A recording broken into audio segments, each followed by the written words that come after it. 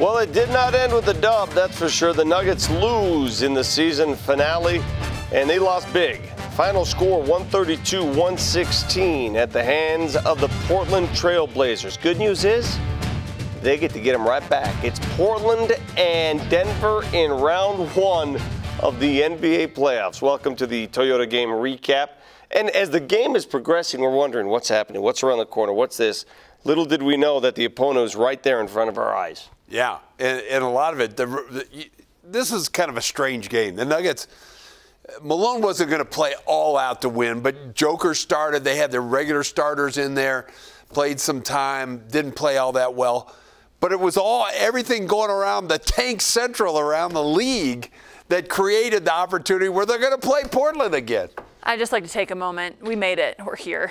we, out of the whole day, we're watching scores. We're trying to predict who the Nuggets might play, what out, what outcome might happen around the NBA, what the West might look like. We did it. Yeah. It's done. The Nuggets have the Portland Trail. And as far as the matchup is concerned, the Nuggets go two and one against Portland this season. We won't even count this game because, for obvious reasons, we don't need to get into. But they, uh, the previous two, the Nuggets won. But both of those games came down to crunch time. They were very close games that could have gone either way. Well, it, the one thing that changes statistically, I think in these games, the Nuggets defense really good. Um, one of the reasons why no uh, Jusuf Nurkic was out in those two games.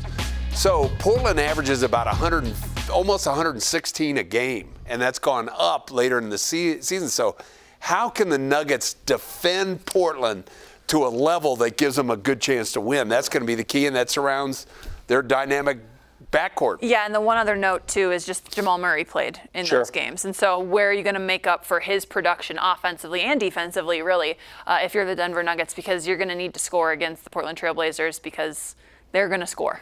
Listen, bottom line, you want to be Portland, you got to find a way to slow down. I'm not sure you could stop both of them, but you got to slow down CJ and Dame because when they get it going, look out, especially Dame. Last time the Nuggets played these guys, uh, 2019 playoffs, it was McCollum's time. Remember, McCollum was the guy that made the difference in that game seven. Yeah, he sure did. And the Nuggets, like Katie said, the Nuggets scored well, had a chance to win game seven, up 17, but then the scoring dropped. And, and the thing that scares you about Portland, they, they shoot almost 41 threes a game and they shoot almost 39%. They're, they're number two in the league in, in attempting. They'll shoot them early, often, and from anywhere this side of half court.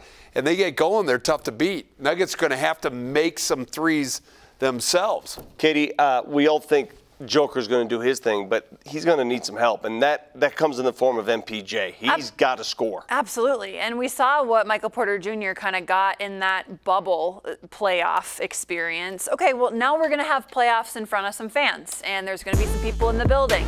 How is he going to rise to the occasion this time around?